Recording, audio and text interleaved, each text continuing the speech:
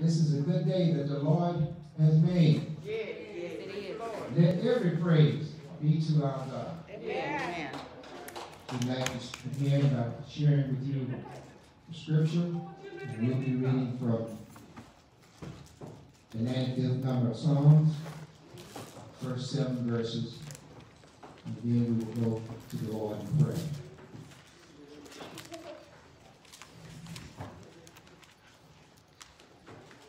Oh, come.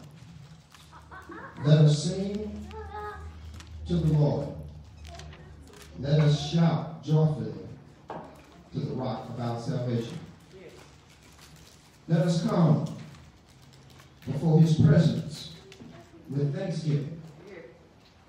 Let us shout joyfully to him with songs.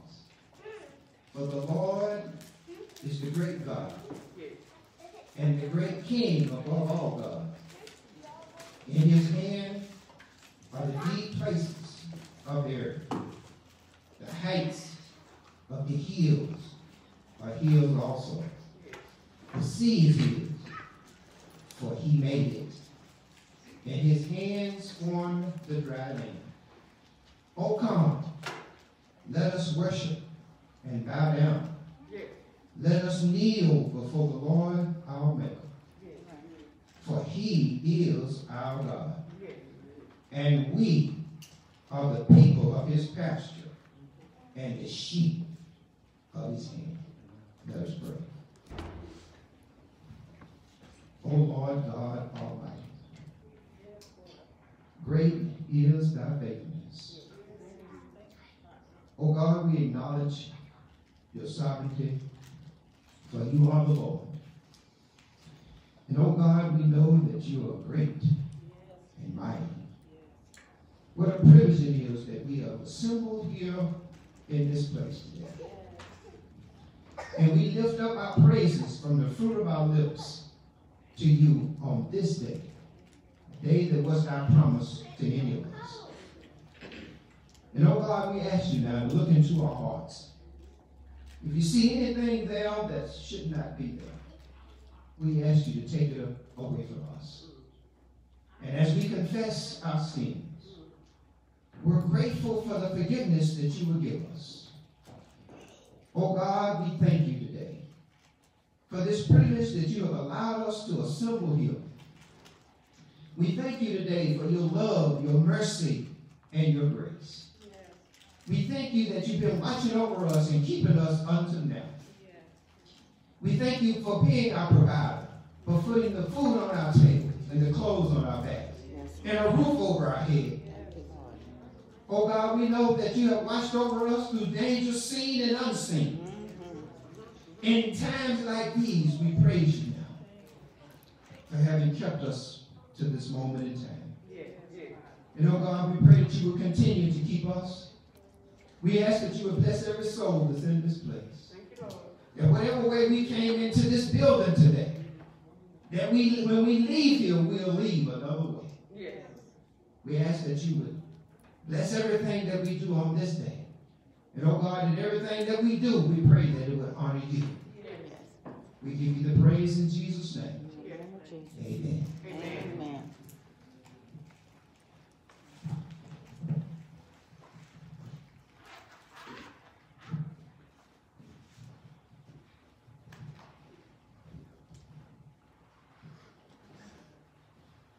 Communion service is a time when the church gets to do three things. We look outward and see what God has saved us from. We look inward to see what God has done in ourselves, and we look upward to give praise to our God. It is important for us to take part in these elements because it's what Christ has commanded us to do. So I want to read a passage for you, and then I'll get into the actual service of communion. In 1 Corinthians chapter 11, the Bible says this For I received from the Lord what I also passed on to you. The Lord Jesus, on the night he was betrayed, took bread. And when he had given thanks, he broke it and said, This is my body, which is for you. Do this in remembrance of me. And in the same way, after supper, he took the cup, saying, This cup is the new covenant in my blood. Do this whenever you drink it in remembrance of me. For whenever you eat this bread and drink this cup, you proclaim the Lord's death until he comes. So we have an opportunity, brothers and sisters, to, to thank God for what we are not now. We're not out in the world. We're not people in the world. We're not people that are uh, uh, unsaved. God has brought us into his body. He has made us one, uh, one with one another and one with himself. Thank God. He has also saved us, and we know where we have come from. We look inward, and we know that we are not what we used to be, but we praise God that we're not where we are going to be finally when we finally look up and see his face. Yes, Lord. At that time, the consummation comes, the end, and we will get ushered into heaven. Praise God. So as the gentleman passed the elements out,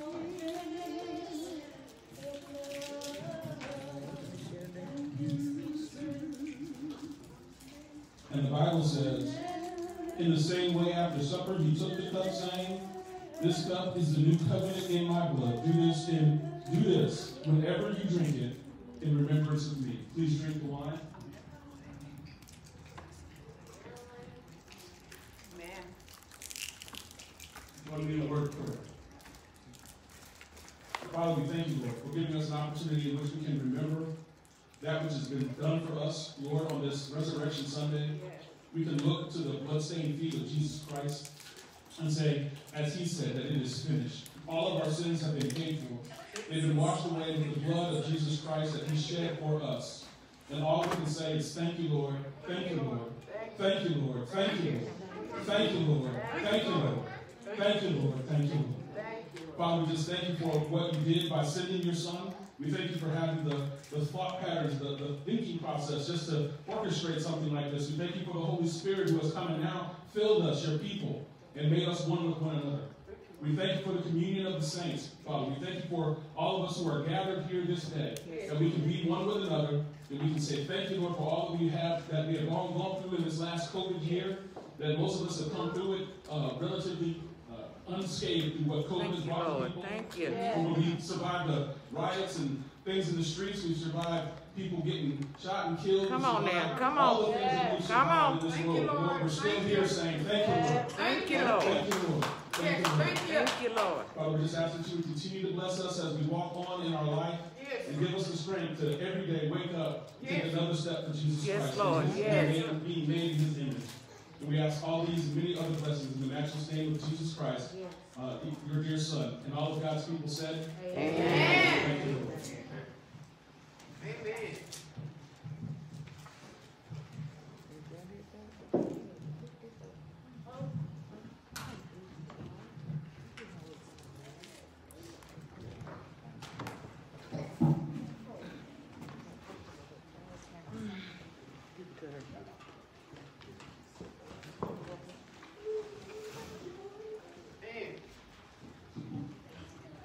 Good morning, New Creation. Good morning. It has been a fucking year since we get together in this building. Um, I was talking with Pastor Miles yesterday, and the last time we praised and sung together, we were practicing an Easter song. And so to be here now, to see all of your faces, even though I can't see your smiles through the mask, I'm to see all of you here. Thank you, Lord. It's Easter, the most important day for us. Um, because he didn't just die, but he rose. Yes. So um, he's not dead. He's in heaven. And so back in the day, they used to call this Resurrection Sunday, right? and so today we're going to sing. We're going to sing. We're going to thank God for loving us so much Yes, sir. That he gave his son. I have a son, I have a daughter. I don't know if I would be willing to give my son to save all these people in here. Yes. That's my baby Yes. that I carried. I Mhm. don't know that I could do that, but he did that. Yes, And he ma'am. did it for us. Amen. So I'm thankful. I'm Yes. thankful. I hope you're thankful too. So I ask that you sing with us. When you catch it, you're going to know it. Sing along.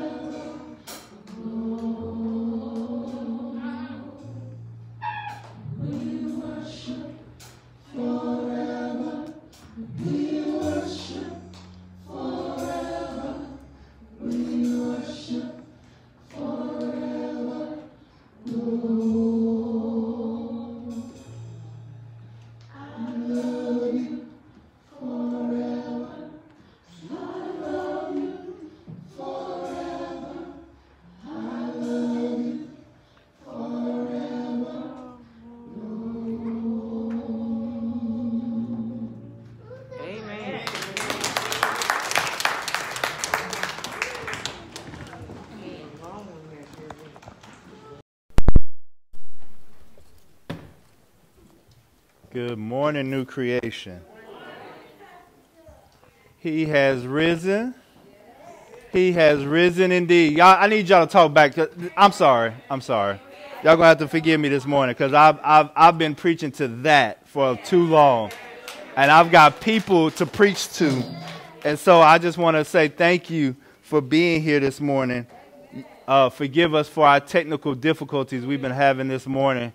Uh, what can go wrong will go wrong, right? But we have been able to still have service no matter what.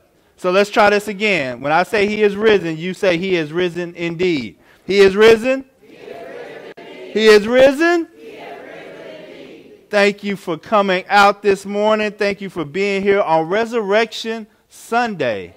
Um, we are thankful. Sorry, I it, is. Got a little short in this line, so we're going to try to see what we can do. Um, don't worry, I can be loud without without having to get a get have a mic. Uh, it, it might work, it may not. Let's, don't worry about it, Nikki. We're gonna keep going. Um, it's good to see Sister Vivian here. Um, be in prayer for her. She lost her brother, um, and funeral is on next Saturday. This Saturday, I'm sorry, and we will be in prayer for her as they travel to Arkansas. Um, also, want to just say thank you for man. It looks good. Y'all look good to me. It, I mean, just it, it's something different when you see a full body instead of just a little a little, little screen. So, so y'all gonna have to forgive my excitement this morning. I, I came up here. Forgive the computer. I usually don't have a computer up here, but but I try to print something out. No ink. So I tried to come back here and couldn't get this printer wasn't working. I, it, it, if it can't go wrong, brother Sam, it's, it's gonna go wrong. But we're gonna we're gonna push through. Um, today is Resurrection Sunday, and, and and I don't know about you, but I'm excited about today because what better day to come together and and have in person service than resurrection. The tomb is empty is the reason why we can be here. And so That's right. It is, it is, I'm, so, I'm so thankful for us to be here this morning and to be uh, able to worship and fellowship with each other. Thank you, uh, Lord. Even though we got to wear masks, even though we got to be socially distanced, yes. That, that, that doesn't keep us from, here. That's, all That's right. from being the body of Christ. That's right, Pastor. Uh, so this morning, I want to talk about the gospel. Go ahead. Uh, turn with me to Ephesians chapter 2. Ephesians chapter 2.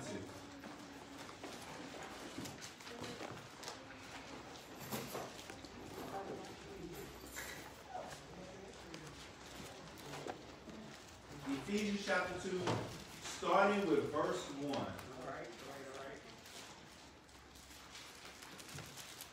Ephesians chapter 2, starting with verse 1.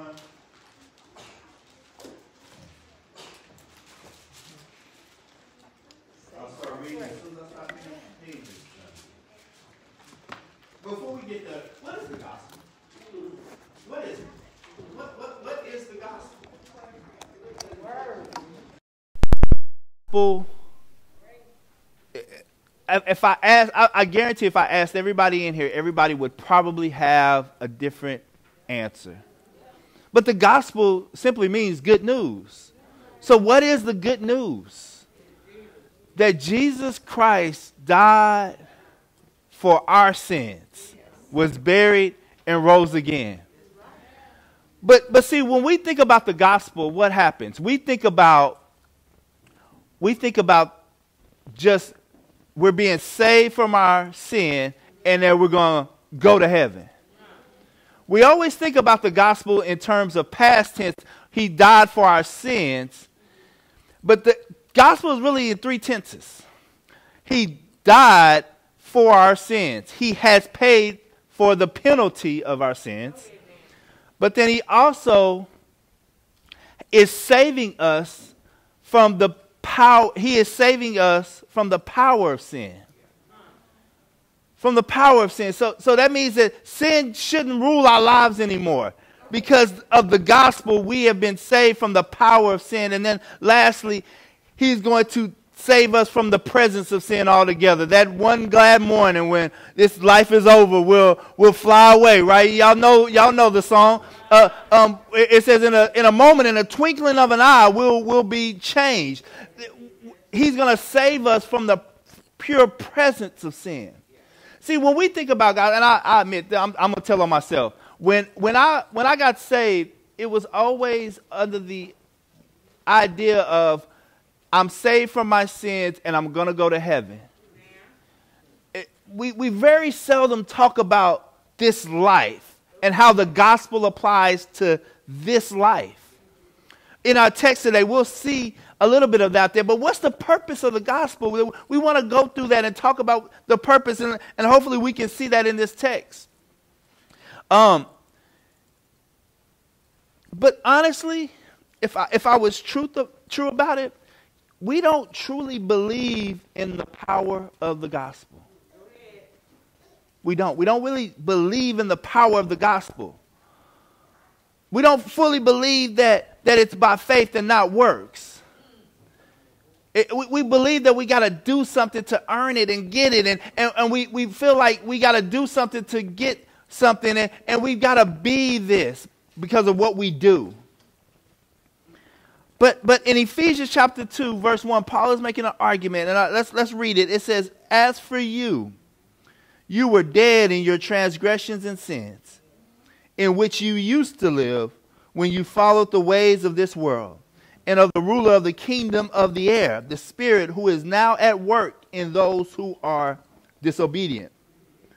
All of us lived among them at one time, gratifying the cravings of our flesh and following its desires and thoughts. Like the rest, we were by nature deserving of wrath. Paul lays out the picture of what we used to look like. If, if you're saved, this is what, what you used to look like. You were, it says you were dead in your transgressions and sin, meaning you were spiritually dead. You were separated from Christ. And, and, and, and, and he goes on to say, this is how you used to live. And, and, and, and let's talk about that. How did you used to live? It says you were follow the ways of this world and the ruler and the kingdom of this world. What it say? It says that we, we, we look like the world. and We, we followed the ways of the world. So how the world responded, it was how you responded. How the world did things is how we did things, right? Before we came to Christ, we all were under this pressure to be like the world. You, you, you were made to fit in. We see it today in cancel culture that everybody has to fit a mold, and if you disagree with it, then you're going to get canceled. But that's not necessarily true for us as Christians. But, but back then, there's, when we're in the world, we, we look like the world. Uh, I, I, there should be a difference. There should be a difference. So, can I say that? There should be a difference. Because if we look at our social media feeds, that sometimes our feeds don't look too much different than the world's feeds. If we look at how we talk to people and how we interact with people, our, our lives don't look different than other people's lives.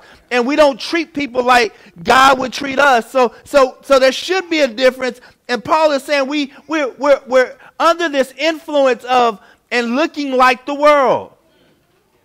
And it says, it also says, and, and the ruler of the kingdom of this world. That means we're being influenced by Satan. Satan is, has a control over us. It says the spirit who is now at work in those who are disobedient. Meaning, when we're disobedient, this, the, the, the Satan, is, Satan is influencing us to be different, to be like the world. Verse 3, it says, All of us lived among them at one time. Let me repeat that. All of us. I know, I know, I know some of y'all think y'all deserve to be saved, but but it says all of us, verse 3, lived among them at one time, gratifying the cravings of our flesh and following its desires and thoughts.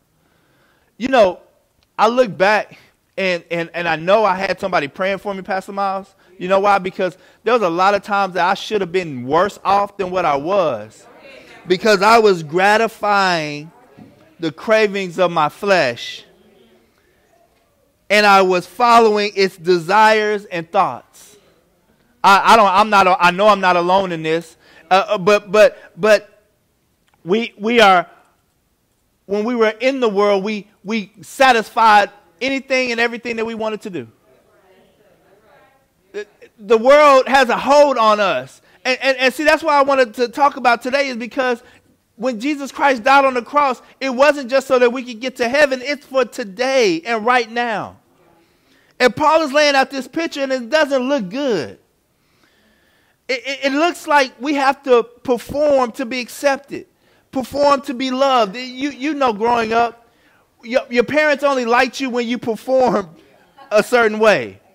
You felt like you only got loved when you did what they wanted you to do. Keep talking, Tammy. Uh, it says, like the rest, we were by nature deserving wrath. But look what it says, verse 4. Oh, I love this verse. It says, But because of his great love for us, God, who is rich in mercy, made us alive with Christ, even when we were dead in our transgression. It is by grace you have been saved. It, it, it, what, what, what Paul is saying in, in Ephesians is the same thing he said back in Romans. It says, but God demonstrated his love like this while we were yet sinners, Christ died for us. When you were at your worst, is when Jesus Christ died for you. When you were satisfying your cravings, that's why he came. That's why he died. When you were at your absolute worst, he loved you. He loved you. He loved us so much so that he sent his son to die on the cross for us. It says, even when we were dead in our transgressions. Take a moment to think about that. I thank you, Pastor Bray, for, for communion because communion is, is that opportunity to think back when we were dead in our transgressions. Easter Sunday should remind us that the tomb is empty because he came to die on the cross for our sins. He paid a penalty that he didn't owe. He paid a price that he didn't owe. We owed the price. And it was a price we couldn't pay. Get that picture. We couldn't pay it. We couldn't satisfy it. We couldn't satisfy God with our lives, no matter how well we lived. So he sent his son to die on the cross for us. Because he loved us.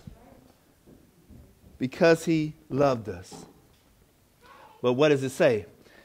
It says, verse 6, it says, and God, eh, I'm sorry, it is by grace you have been saved. Grace, we talked about this last week. Grace. Grace is getting something you don't deserve. It's a gift. It's a gift. That means none of us deserve to be saved.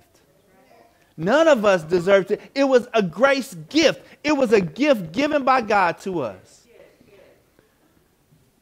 Let's go on. It says, verse 6, it says, And God raised us up so with Christ and seated us with him in the heavenly realms in Christ Jesus, in order that the coming ages he might show incomparable riches of his grace expressed in his kindness to us in Christ Jesus. For it is by grace you have been saved through faith, and not this from yourselves. It is a gift of God, not by works, so that no one can boast. Uh, um, Paul continues on this idea of being being saved by grace. He, he says, and God raised us up with Christ and seated us with him in heavenly realms in Christ Jesus. This, this whole idea of the tomb being empty is, is what Paul is addressing here. He says, Christ got up, and because Christ got up, he raised us up to put us into the heavenly realms in Christ Jesus. So that when God sees us, he doesn't see me and you anymore. He sees us as he sees Jesus, as, as, as blood washed, clean, forgiven of sin. Nothing that you have done is, is, is being held against you we are, we are saved in order that in the coming ages, verse 7, he might show the incomparable riches of his grace expressed in kindness to us in Christ Jesus. In other words, he wants to show us off. He wants to show how good he is to us, to the world. Because you were dead in your transgressions, you were dead in your sins, and he wants to show how incomparable the riches of his grace are. That's the grace that saved us. That's the grace that we've been given. That's the grace that we have a responsibility to live for. But but but he doesn't stop there. He says, "For by grace you have been saved through faith. Faith alone in Christ alone. That is what we believe. That, that, that there's nothing else that it takes to be saved but faith in Christ alone. But a lot of us don't believe that. Let me, let me, let me ask a couple questions. Let me ask you a couple questions. Just let me, let me kind of prove to you that, that we, we believe that we, it's, it's, it's works driven. It says, Do you believe you were saved by God's work and not your own? So, so, so a, a pastor asked these questions and I got convicted. And, and, and, most of us, based on this verse, we will say, no, of course not. God, it was God's work. And the next question was, do you believe you have to do little, a little bit more to be saved from God? From God's wrath and love that's his child. Do you believe you have to do a little bit more? Do some work in the church in order to be saved, to do some work to be loved by him. Let, let, me, let me ask another question. Says, Do you work hard at religious activity? And when you do, you feel a little bit more accepted by God? A little bit more loved by the Father? when you work in the church and when you're doing things that God wants you to do, do you feel like you're accepted then? Do you feel like that's the only time God loves you is when you're doing work? See, see, see, if we're honest about it, we've been, we've been so conditioned by this performance culture that, that we feel like we have to do something for God to love us. We, we, we feel like we've got we've got to be something for God to accept us. And some of us are holding on to sins that Christ has already died for. Christ has already died for them. They're forgiven. Psalms 103, verses 8 through 12. I'm, I want to read from verse 8. It says, The Lord is compassionate and gracious, slow to anger, abounding in love he will not always accuse, nor will he harbor his anger forever. He does not treat us as our sins deserve or repay us according to our iniquities. For as high as the heavens are above the earth, so great is his love for those who fear him. As far as the east is from the west, so far has he removed our transgressions from us. Do you believe that? Do we believe that? Or do we believe that when I sin, I gotta, I gotta, I gotta read my scriptures more. I gotta, I gotta double up on, on Bible study. I, I've gotta, I've gotta do this stuff so that God will forgive me. I've gotta do this so He will accept me. I've gotta do these things so that God will love me and God will pro, um, provide for me.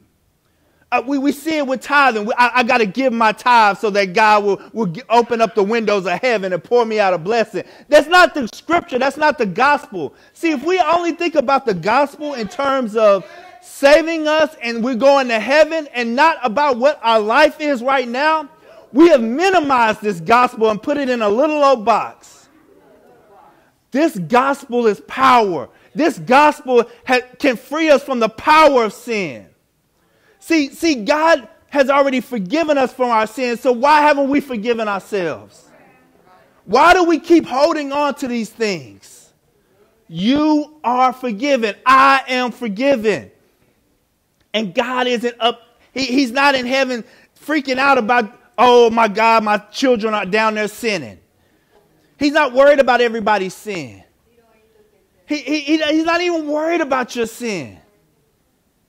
Because he's already dealt with it. It's already been dealt with. If you don't think about anything else from today's message, your sins have been forgiven. Past, present, future. The issue becomes our fellowship with him. But that doesn't mean that he doesn't love us any less or he doesn't accept us any less. One, one, one last, one, one last one. It, it, what happens when you disobey God? Or you sin against him? Well, I, I know it's not the, the big things like, oh, I didn't kill nobody, I didn't do it. What, what happens when your, your thought life ain't right? When, when you have issues with your spouse or you, you, you get all these temptations to do all these things. Do you feel you have to put some distance between that sin? So you, you, you, you ask for forgiveness, but, but you don't feel right. You don't feel like you're back in fellowship with Him. You, you got to put some distance between it. You wait a couple of weeks, and then wait a couple of weeks, and then you start to feel more accepted by God. See, see, when we think those things, that means that we don't believe in the gospel. We're not applying the gospel to our everyday life. See, Paul is, is, is in Ephesians, I feel like he's trying to argue this point. It's saying, is for by grace are you saved through faith, and not of yourselves. It is a gift from God, not by works. Not, there's nothing you can do at New Creation that's going to get God to love you more. There's nothing you can do here at New Creation or in this world that's going to get God to accept you more. He loves you unconditionally. So, what do we do now? What do we do now? Verse 10 For we are God's handiwork, created in Christ Jesus to do what? Good works, which God has prepared in advance for us to do. Hmm. It, it, the, the, word handiwork or workmanship is, is this idea of of, of, of a carefully woven tapestry. Just, just think about that. God is, God is, is, is he, he cares so much about us that he carefully weaves us together and creates us in the way. Because we're all created in the imago Dei, in the image of God. See, when we deal with other people and we don't see them as the imago Dei, the, that uh, image bearer of God, we, we, we're not dealing with them the way God would deal with them. Uh, uh, but it says, we are God's handiwork, created in Christ Jesus to do what? Good works. See, see, good works doesn't get you saved. Good works can't can't make God love you anymore or accept you anymore. Good works can't, can't do anything for your salvation, but God has created us so that He can show off His glory through us. He can, he can manifest Himself through us, through, through how we treat each other, that will impact somebody else because He's already prepared these good works for us to, what does it say? In advance for us to do. I like, I like the one verse that says for us to walk in. When you walk in, it's already prepared. You just got to walk into it. It's already ready for you. You just got to walk into it. it. God has already prepared good works for each and every one of us to do. He has a ministry for each and every one of us. He has a, a, a, way of reaching out to other people through you to show off his incomparable riches of his grace to this world and he wants to do it through us. He wants to do it through me. He wants to do it through you. It's not just the pastors, it's not just the elders. It's through each and every one of us. So, so, so today, I, I, this was this was a family message. This wasn't for Facebook. I know we putting it on Facebook, but but this is a family message. This is for for us as believers, because because this doesn't apply to be believers. The, the gospel applies to everybody but only for us who are saved have good works been prepared for us to do.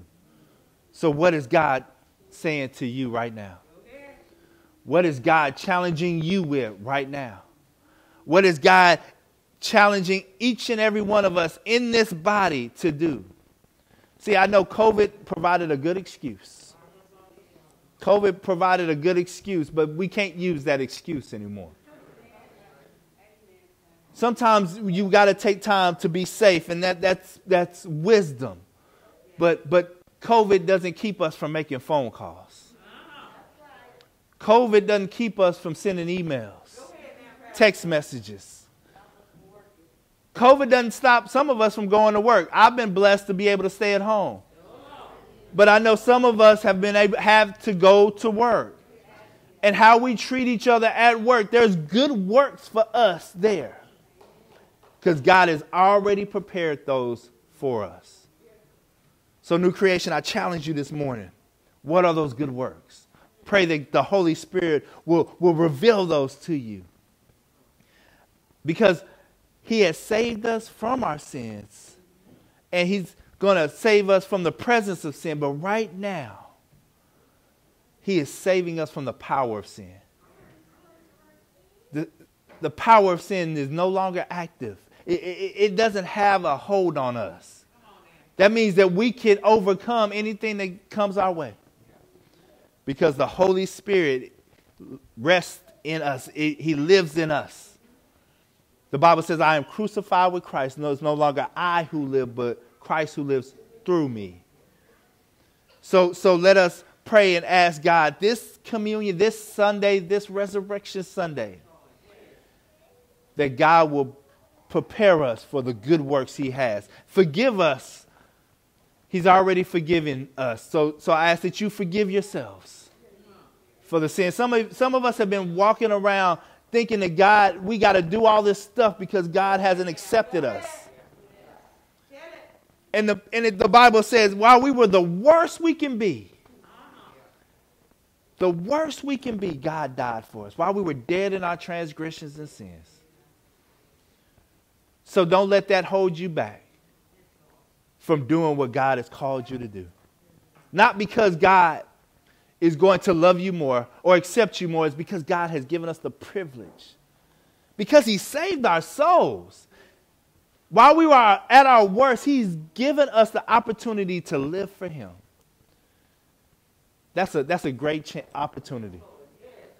That's, that's, that's being on a winning team, and no matter what. You, you, no matter what comes your way, you won. no, no, no matter what happens, you won.